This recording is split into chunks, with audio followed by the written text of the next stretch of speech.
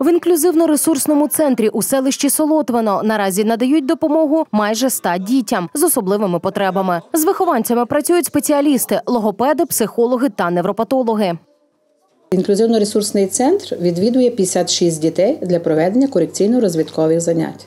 11 дітей внутрішньопереміщених маємо. Займаються з дітками за особливою методикою Векслера. Методика Векслер полягає, вона розрахована на дітей від 6 до 18 років на визначення інтелекту. Працюємо з методикою е, Обухівської. Вона полягає теж на визначення інтелектуального розвитку. Е, У команді нашій працюють реабілітологи, психологи, логопеди, дефектологи, які описують свій результат у комплексній оцінці. Наш інклюзивно-ресурсний центр е, є у мережі інклюзивно автоматизованій системі інклюзивно-ресурсні центри. Заяву можна подати і онлайн. Нещодавно з робочим візитом заклад відвідала заступниця міністра освіти і науки України Віра Рогова. Центр визнали одним з найкращих не лише в області, а й Україні загалом. Віра Борисівна відмітила у своєму заключному слові, що наш центр є одним з кращих центрів Закарпаття та на теренах України і запропонувала розпочати на базі нашого центру пілотний проект.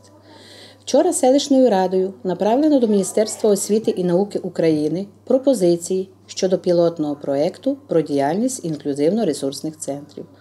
Також ми направили ці пропозиції директору Інституту спеціальної педагогіки та психології імені Миколи Єрмаченка Лесі Прохоренко для детального вивчення. І наразі будемо очікувати подальших кроків від Міністерства освіти і науки України.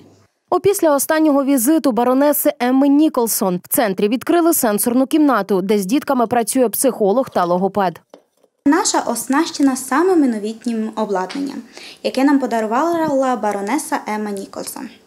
В нашій сенсорній кімнаті наявні ліжко, водяне ліжко з музичним, з музичним супровідом, пузирчаста колона, яка міняє кольори, джерело миготливого світла, е, бізіборд для органів чуття, е, кінетичний, е, стіл з кінетичним піском, різні музичні інструменти. Обладнання, з яким працюють спеціалісти, новітнє та підходить для реабілітації діток. Зокрема, джерело миготливого світла використовують, аби малеча позбувалась клаустрофобії. Діти з особливими освітлюваними потребами часто страждають від страху закритого приміщення.